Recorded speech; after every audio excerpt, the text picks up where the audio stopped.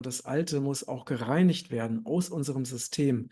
Es muss aus unserem System befreit werden. Deswegen, wenn ihr euch belastet fühlt, wenn ihr euch energetisch schwer fühlt, wenn ihr euch Sorgen macht, wenn Ängste kommen, dann wisst, das ist ein Reinigungsprozess. Also kann ich es wirklich viel einfacher anschauen, anstatt zu sagen, ich bin Gott. Da kommen schon, keine Ahnung, erstens Zweifel, zweitens Freunde, die sagen, du bist doch nicht Gott, übertreib nicht, bla bla bla. Aber wenn du sagst, du bist Leben, ich bin Leben, dann kann dir keiner sagen, nee, du bist kein Leben. Das, was in Deutschland ähm, über Jahrzehnte funktioniert hat, wird nicht mehr funktionieren. Es funktioniert jetzt schon nicht mehr. Und dieses alte System von Angst, Kontrolle, äh, Zwang, Sicherheit im Außen, das löst sich jetzt auf. Mein Name ist Tobi, willkommen hier auf diesem Kanal. Wir reagieren heute auf Matthias Langwasser, eine göttliche Botschaft, das brauchst du für den Umbruch. Matthias Langwasser für mich sehr inspirierend. Äh, ich habe sein Buch gelesen, Reise in die Freiheit. Äh, wir haben auch ein Interview gemacht zusammen, also wirklich wundervoll. Ich schaue mir immer mal wieder seine Videos an. Äh, deswegen gehen wir rein. Ich danke dir vielmals, bist du hier. Wie geht es dir heute? Ich bin in der letzten Zeit ein bisschen down irgendwie. Es gab gewisse Energien auch irgendwie momentan hier. Deswegen wir sind trotzdem hier und wir schauen uns das Video an. Schön bist du hier. Danke vielmals. Lass uns reingehen. Hey ihr Lieben, heute ist der beste Tag deines Lebens und ich habe eine dringende und wichtige Botschaft, die ich jetzt äh, zwischen zwei Terminen unbedingt loswerden möchte, ähm, weil, weil es einfach so wichtig ist. Und zwar, ich bin ja auch gerade auf Kopangan und habe die letzten Nächte kaum schlafen können und weil einfach die Energie hier so intensiv ist und auch so viele Dinge passieren. Und äh, ich habe dann mit Gott gesprochen, ähm, was ich sehr häufig tue, äh, einfach um einfach die Zeit zu nutzen, wenn ich eben nicht schlafen kann, um Informationen zu bekommen. Und das, was ich als Information bekommen habe, das möchte ich jetzt von Herzen gerne mit dir teilen, weil es einfach so wichtig ist. Gerade für die Zeit, äh, in der wir uns befinden und auch für die Zeit, die kommt. Weil es ist so, dass wir Gott, wieso sprichst du nicht zu mir eigentlich? Jetzt erleben, wie sich das alte, das alte System, diese alte Matrix, diese künstlich erschaffene Matrix löst sich auf. Und das bedeutet, dass wir ähm, nicht nur erkennen dürfen, dass alles, was uns beigebracht wurde, dass unsere ganzen Konditionierungen, dass es alles einer Illusion unterliegt, sondern auch, dass diese ganzen Fehlprogrammierungen, die ganzen, ganzen falschen Informationen, unendliche Lügen, all das, was noch in unserem System verankert ist, all das, was uns belastet, was uns einschränkt, auch das, ähm, das darf jetzt gehen und es wird sich zeigen. Es ist wirklich krass, diese Illusion und so weiter. Du kommst als kleines Kind, manchmal schlafe ich noch und ich sehe schon die Kinder, höre die Kinder hier auf den Straßen in die Schule rennen und so weiter. Und dann denke ich mir so, ey, es ist irgendwie 7 Uhr und ihr müsst schon dort hingehen, euch hinsetzen, still sein und so weiter. Natürlich ist Schule auch lustig, du hast deine Freunde und so weiter. Aber so während der, während der Schulzeit, während der Klasse ist es einfach ist schon tragisch. Du sitzt dort, wirst einfach es wird dir Sachen aufgedrückt, du darfst dich nicht frei bewegen. Also es ist eigentlich schon heftig. Und es fängt ja eigentlich schon im Kindergarten an. Dort ist es natürlich noch ein bisschen, alles ein bisschen äh, lockerer und so weiter. Aber sobald du in die Schule kommst, also die Autorität und du musst dich anpassen. Früher war es natürlich noch schlimmer. Ich weiß nicht, es war ja immer schlimmer und vielleicht wird es jetzt wirklich irgendwie besser und es wird alles ein bisschen gelockerter. Das hoffen wir natürlich alle. Aber so, was wir alles lernen und dann wirklich, also ich, du bist so gebrainwashed, die ganze Geschichte und so weiter. Du hinterfragst es gar nicht, du denkst ja, das ist eh die Wahrheit. Oder wenige hinterfragen das. Und Matthias Langwasser ist ja so einer, der das schon immer hinterfragt hat.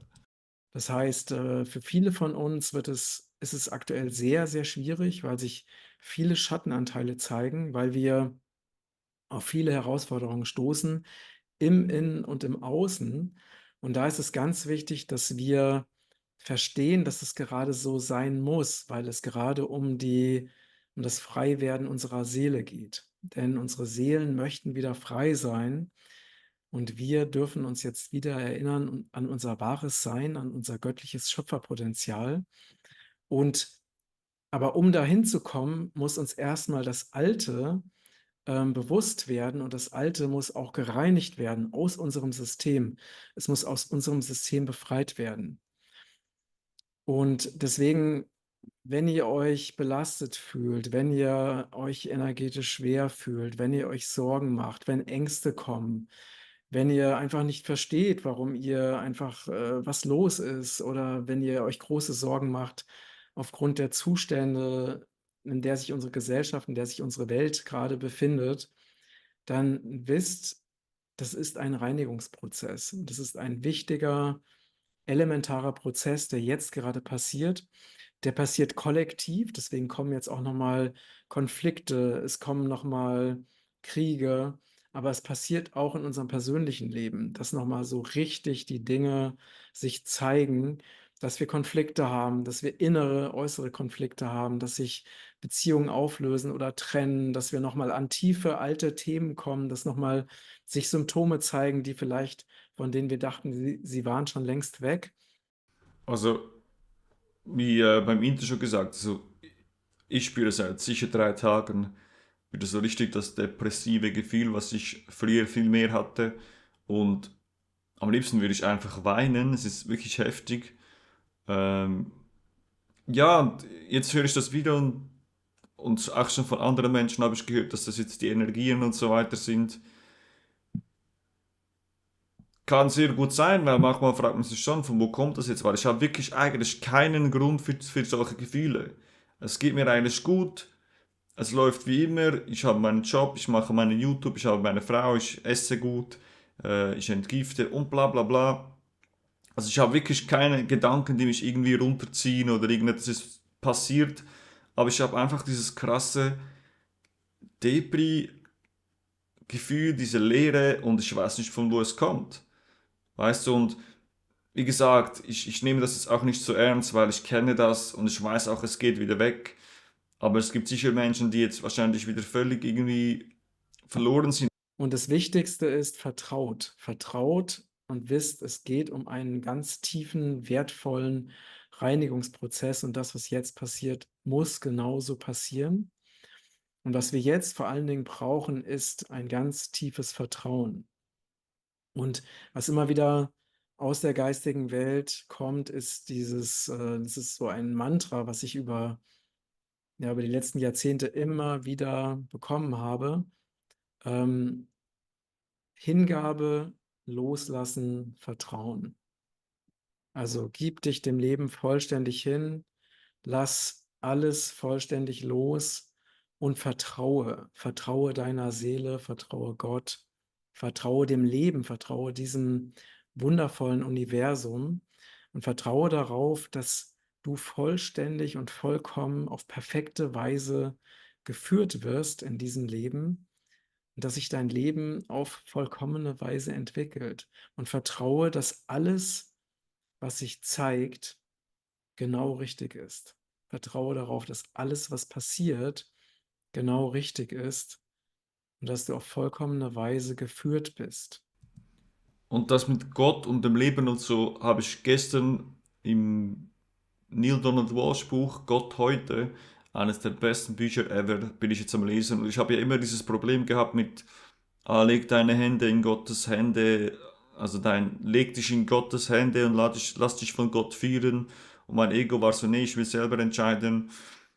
Aber für mich ist einfach das Wort Gott so ver verfälscht worden in meinen Augen. Wenn ich Gott höre, dann denke ich so an diesen automatisch, auch wenn ich weiß, es stimmt nicht, aber es ist in mich reingebohrt worden, dieser Gott, der dort oben sitzt und graue Haare hat und dich einfach in die Hölle schickt, wenn du, keine Ahnung, etwas Falsches machst.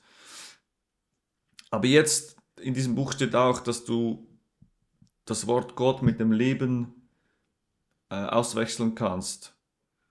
Und dann ist es für mich wirklich auch einfacher zu anzuerkennen, ich bin Leben. Und alles ist Leben, alles ist Gott, aber alles ist auch Leben, weil es ist äh, auswechselbar. Ich bin Leben, alles andere ist Leben und diene dem Leben und lass das Leben fließen, weil so kann ich es wirklich viel einfacher anschauen, anstatt zu sagen, ich bin Gott. Da kommen schon, keine Ahnung, erstens Zweifel, zweitens Freunde, die sagen, du bist doch nicht Gott, übertreib nicht, bla bla bla. Aber wenn du sagst, du bist Leben, ich bin Leben, dann kann dir keiner sagen, nee, du bist kein Leben. Also das finde ich, hört sich das für mich wundervoll an und man soll sich ja Gott oder das Leben auch so vorstellen können, dass es einem auch gut tut. Aber mit Gott habe ich so dieses, diese schlechte Beziehung, weil ich es mir falsch vorstelle. Aber das Leben ist überall und da kann ich es mir wirklich wundervoll vorstellen. Vielleicht kann es auch dir helfen.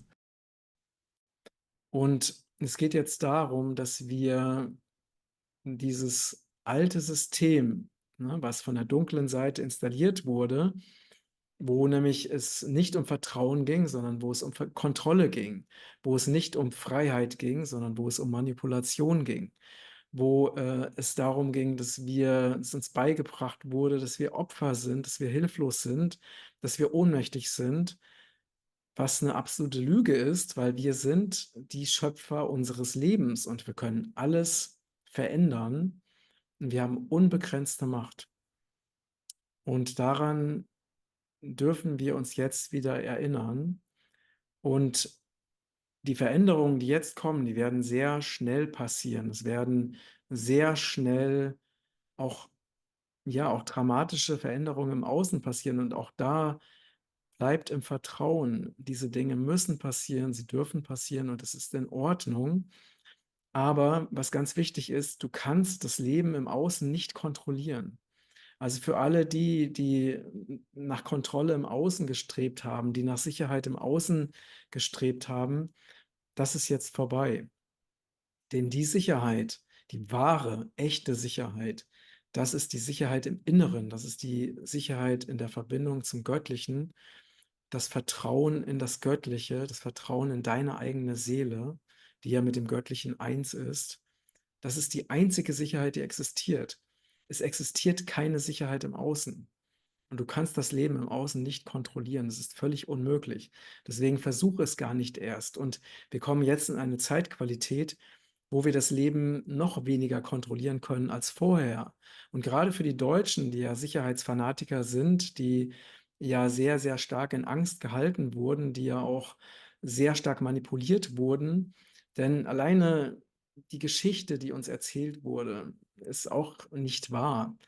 Ähm, denn es ist die Geschichte der Besatzer und äh, wir wurden einfach ähm, komplett zu Opfern erzogen mit, und ganz bewusst mit Absicht, um eben auch die Macht der Menschen und auch die Macht des deutschen Volkes eben, Volkes eben zu brechen. Und ähm, das ist aber jetzt nochmal noch mal ein ganz anderes Thema. Aber es geht darum, dass wir jetzt lernen, komplett zu vertrauen und ähm, die Sicherheit im Jetzt zu suchen und zu finden.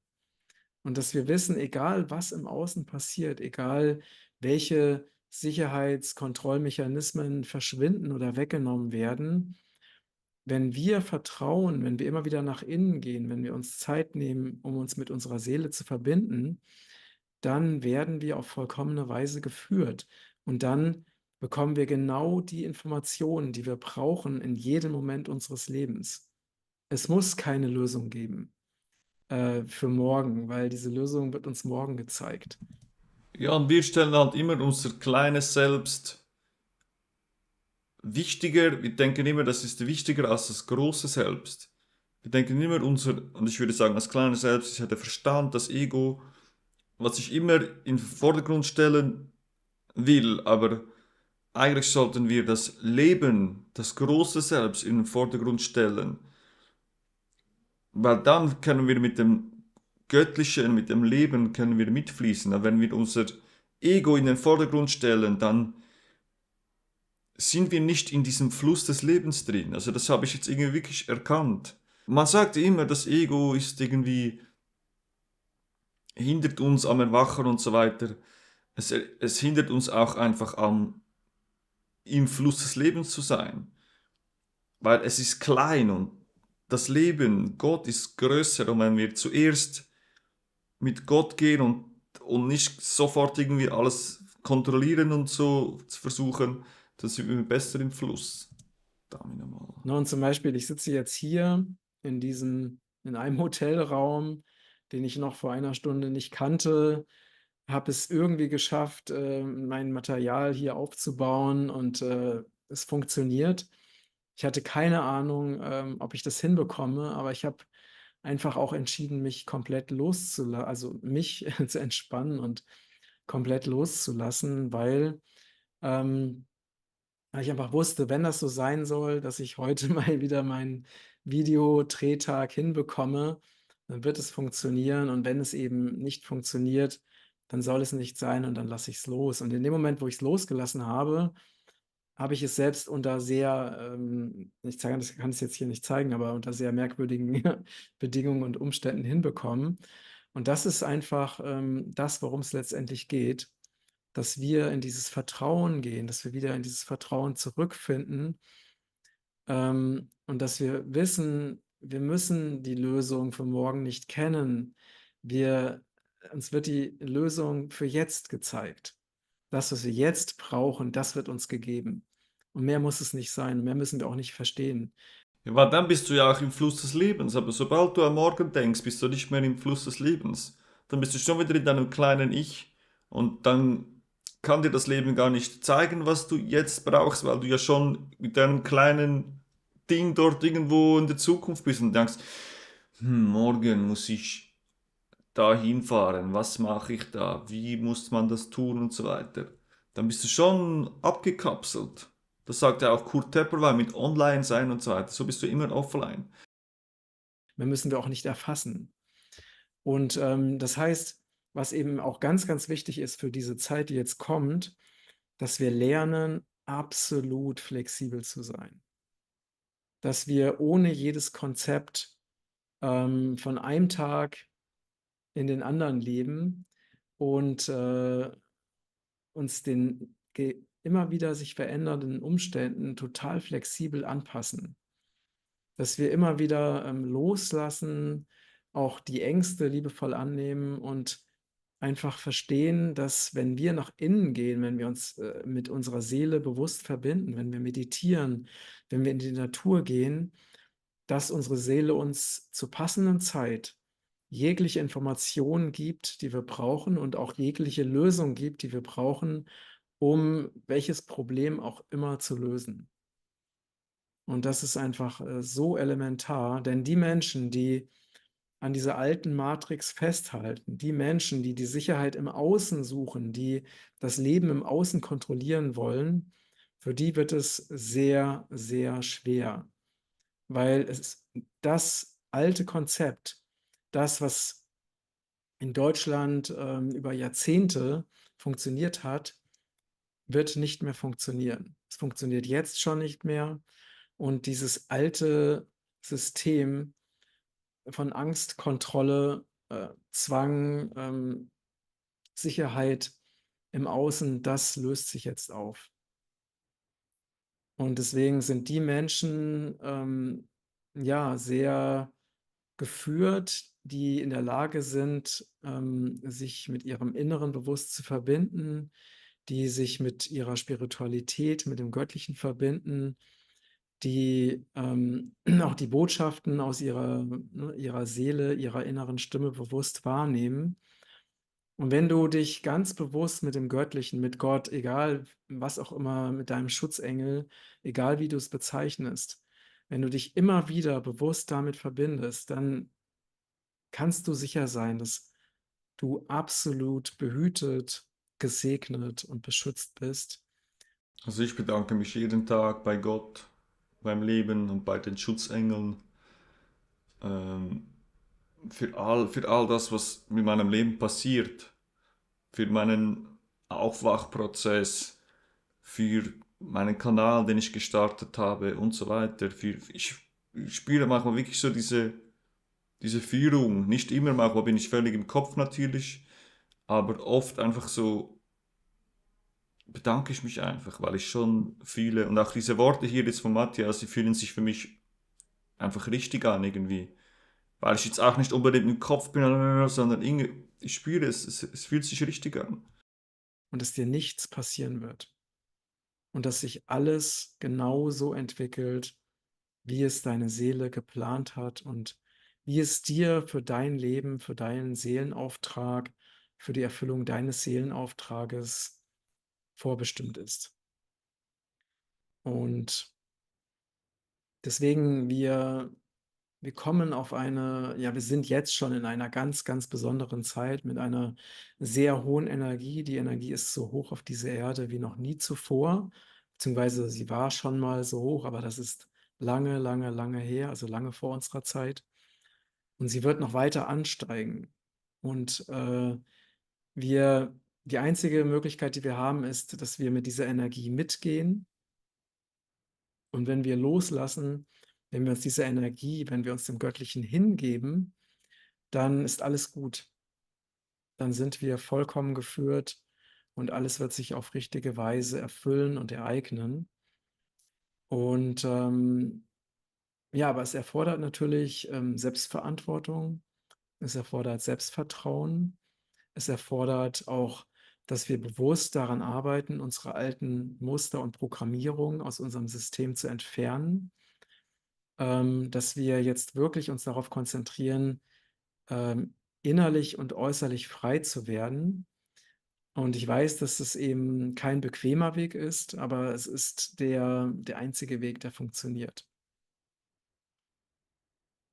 Und, äh und es ist auch ein sehr, sehr erfüllender und sehr spannender Weg, denn, ähm, ja, Widerstände, Herausforderungen lassen uns wachsen erinner erinnern uns an unser wahres göttliches Wesen und sind von daher große Geschenke des Universums an uns. Und ja, deswegen ist es wichtig, dass ihr dass ihr euch bewusst darüber seid, auf die Zeiten, die jetzt auf uns zukommen, dass es herausfordernd wird, dass es gleichzeitig aber auch sehr, sehr gut wird dass die Energien heftig sind und noch heftiger werden, dass dies aber der Reinigung und der Transformation dient und deswegen genauso richtig ist. Meine Frage ist, ist die Energie nur von der Erde, vom Universum wird die ausgesendet? Weil es gibt ja auch Energien, die, die diese wundervollen Aliens hier auf unserem wundervollen Planeten aussenden, die ja uns auch sehr zu schaffen machen. Und ähm, und dass es darum geht, dass wir loslassen, dass wir vertrauen und dass wir uns hingeben. Wenn wir das tun und gleichzeitig an uns arbeiten, uns immer wieder verbinden, den alten Ballast loslassen, äh, auf die Stimme unserer Seele hören, um die richtigen Entscheidungen zu treffen und gleichzeitig total flexibel sind, dann ist ja, wird sich alles genau so ereignen, wie es eben sein soll und richtig ist. Und dann warten unendlich viele Geschenke auf unendlich vielen Ebenen auf uns. Und es wird einfach nur ein gigantisches Fest der Freude und der Liebe.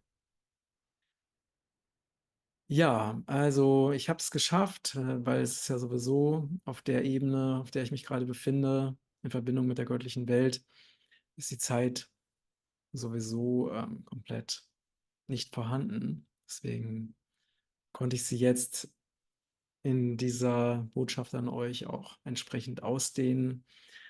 Und gleich treffe ich den lieben Peter. Wird auch wunderschön. Und ich äh, schicke euch einfach ganz, ganz liebe Grüße. Und äh, ganz wichtig, ähm, schaut euch diesen Beitrag gerne öfters an, Lasst es auf euch wirken, vor allen Dingen auch energetisch, weil es auch etwas mit eurem Feld macht.